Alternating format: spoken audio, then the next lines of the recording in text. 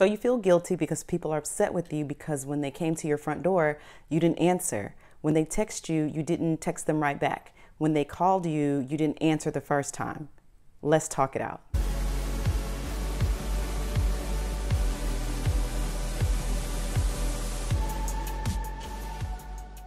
I'm sure people have said this about me and they've talked about you and they went to other family members and friends and talked about you when it comes to this. And people have even come to me and said, Hey, how do I handle this? Well, first of all, you have to address why do you feel guilty? Why do you feel guilty about doing what you want to do? I practice the freedom of being grown and I practice the freedom of being free. I'm free from people's opinions. I'm free of their thoughts about me and what they think about what I do and I don't do. They don't know what's going on in my life. They don't know what's going on in your life. And here's what's crazy when they go and talk about you to other people because she didn't answer her phone. I came to her house and rung the doorbell two times this week. Or they go to my kids and say, Why your mama not answering her phone? Cause she grown, you know. And then here's what's funny. When I finally do talk to them, oh, I know you've been busy. No, I haven't been busy. I didn't want to talk to you or I didn't want to answer my phone, or I wasn't in the space to answer my phone. Now, it's different if you're angry and you're upset and you're bitter with someone and that's why you're not doing it, then you need to address that. But I don't have any bitterness or any anger towards anybody. I live my life a certain way. I live my life according to my peace, according to my schedule, and what works best for me. And if you come to my door, and I'm just trying not to laugh because people actually talk about other people, but if you come to my house and I'm not in the space or the energy to talk to anybody or be around anybody, I will not answer my door. That's my door. And I don't have to feel guilty because I didn't come open my door. Just because somebody rings the doorbell, I'm not required to open it. It's an option. it's an option. This is hilarious. And then it depends on who it is. now, let's address this. Why do you feel guilty? And why do you continue to have people in your life that are constantly upset with you because you're not answering your phone, you're not coming to your door? See, here's the thing I released all those people. I no longer look at my phone and roll my eyes or, you know, oh my God, I don't want to talk to them. I don't do that anymore. And I never really did. My thought was if I talk to them right now, they're going to drain me because all they do is complain. They're negative. All they do is talk about other people. I don't want to deal with that. I don't want to engage in that. And so I eventually released all those kind of people that are like that. I don't care who it is. If it was a lover, family, friend, it does not matter. And to be honest, the underlying issue is fear. We're afraid of what people are going to say or what they're going to think about us. And I don't want them to think I'm being rude or being mean. Here's the truth you have a life they have a life. And a lot of times when people are coming at you, they keep texting, they keep calling, it's because they're not doing what they need to be doing in their life. Then they won't be so free to come and try to see what's going on with you and sometimes distract you. So if you're not answering your phone, you're not answering your door, you're not responding and communicating in the way that they think, is that your problem? No, that's their problem, not yours. And like I said in my previous video, you don't owe anybody any explanations at all. You are grown, you are free. If you don't answer, you don't answer. If you don't respond to a text, you don't respond to a text. And I know a lot of times in the past, because I released those kind of people, if I have to look at my phone and roll my eyes, you don't need to be in my life. That's just the truth. You don't need to be in my life. Or it's going to be from a distance, you know, when we talk, that it's going to be rare. And it's going to be in a space where I can talk to you because some people's energy is just trash, it's just foul. And you don't want that to be in your spirit, you don't want that to be in your atmosphere. So let's just deal with the fear. You're afraid. You're afraid of what they're going to think. Who are they? They're people. What can they do to you? And if you don't answer or you don't come to the door, they should have a life that they're tending to where it shouldn't matter. Now, come on now. You know what I'm talking about. I'm not talking about somebody who's doing a real welfare check on you. I used to work for 911 as a dispatcher, and people would call to do a welfare check. I haven't heard from my cousin, I haven't heard from them. The cars are outside, it's locked from the inside, that kind of thing. We know what we're talking about here. We're talking about the people that keep contacting you, trying to drop by. They don't have nothing going on in their life. They're distracting you. And then they're going behind your back, coming to my kids. Stop coming to my kids and um, asking them why I'm not answering my phone. I'm not answering my phone because I don't want to talk to you. Or I'm doing something that is priority. And don't forget, I'm intuitive.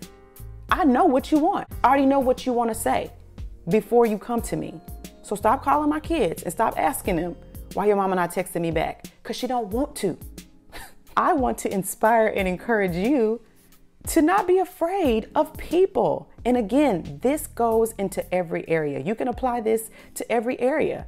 If somebody has an issue with how you raise your kids, what you feed your kids, I've had to deal with that too. Stand up for yourself. Stop being afraid to stand up to people. They're just people. And if they're not providing you with breath every single day, and especially if they're not making no bank deposits, you don't see any bank deposits paying any bills, it's irrelevant. Ignore it. If you have more than one person that causes you to roll your eyes when you look at the phone, or if you look on your cameras, or you peep and you see who's at the front door, if you gotta, oh my God, why are they in your life to begin with? And then if they have to be, or blood or something like that, why roll your eyes? Just don't answer the door. or you call them and you say, hey, it's not a good time. I'll get back with you. Because self care is priority, self love is priority. And sometimes people don't want anything but to distract you and take up your time because they are running from something in their life. They don't want to deal with something in their life. So let me just go on over here to Dory and say, uh, uh, uh, uh, uh, no, ma'am, no, sir. Don't bring that over here. This is your life. This is your space and it's sacred. And nobody's going to put you first other than you. People don't care what you're doing. God bless his heart. My daddy, he used to do that last year before he passed. Well, he did it for the last eight years when I became his caretaker. He would just show up at my door. He only got a pass because he was sick and he didn't know how to do a lot of things. And see, now that's different. He was dependent on me, highly dependent. Some things he could not understand. He only had a sixth grade education, so there were some things that he could not understand. So he got a pass. I mean, he would literally just show up at my front door. We're not doing that today.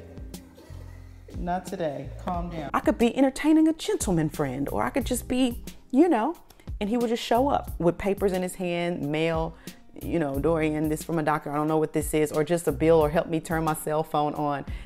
That's different. That's different even friends that just show up at your house. Now, some people don't care. Some people love that. They're hospitable. Just show up anytime. They have food and tea and cookies already made on the table every single day. But that's why I say if somebody's going to be in your life, they need to know you. They need to get to know you and then they won't be upset. They won't be frustrated. If they weren't so busy focused on themselves, self centered, and being selfish and thinking about themselves and going and running their mouths about what I'm doing or what somebody else is doing, how I get to know me? Get to know how I am. Okay, so she doesn't like, you know, to be called early, early in the morning or whatever your thing is. I'm just using a random example. Okay, well, she doesn't like for people just to show up at her house. Let me call first. And some people are like that. And you know them. They'll say, hey, don't just show up at my house. Call me first. And some people are like, just come on by.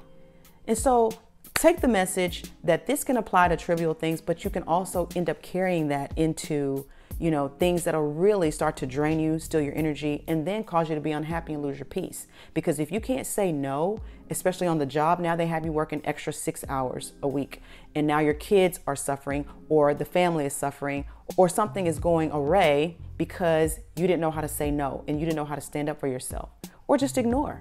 I've really mastered the art of ignoring. Just ignore it. What, what are they going to do? And since I've mastered the art of ignoring, my peace has multiplied. You know who I'm talking to and you know what I'm talking about. You know what kind of spirit they have, what kind of energy they have. And here's what's so funny the people that I know that have been talking mess, um, I've stood right next to them. And when they've had their phone, someone will call their phone and you know what they say? Oh, Lord, uh uh I do not want to talk to her. She's just going to be talking about that. And I'm just looking at them like, wow, you said the same thing about me. That's what I'm saying. They do the exact same thing. They ignore calls. They used to do it to us when we were little. Remember um, when they had those landlines or when people would just show up before you could do bills online, people would just show up, bill collectors. And what would our parents tell us to do? Lie. Tell them I ain't here. Don't, don't you answer that door. You answer that door or, or pick up the phone Tell them I ain't here. because they don't want to talk to him. They're not ready to talk to him. They don't have the money or whoever it is. Or even if it was family member, that's your auntie. No, just hang up the phone. Don't tell I ain't here. they would do the same thing to us. practice the freedom of being free and also practice the art of ignoring. And I know some of you have family members that'll come to you and say, hey, your brother trying to get in touch with you. Your brother's been trying to get in touch with you for a week. And you have people say, now that is your blood, that is your brother, that's your auntie, that's your grand. Yeah, but grandma is toxic.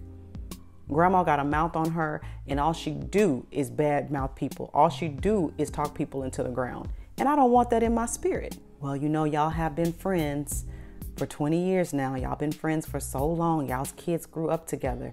And she's been trying to reach out to you, and she said you're not answering the phone.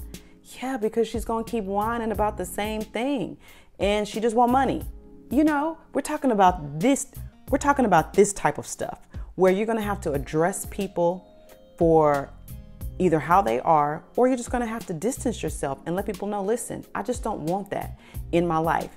I've tried to help you, I've reached out to you to kind of give you some guidance. You don't wanna take that. And so until you can deal with that, this is just gonna have to be a distant relationship. Okay. Don't just subscribe, share, tag, and like, do that. But also apply what you learned in the video. Follow me on social media, and I am Dorian.com.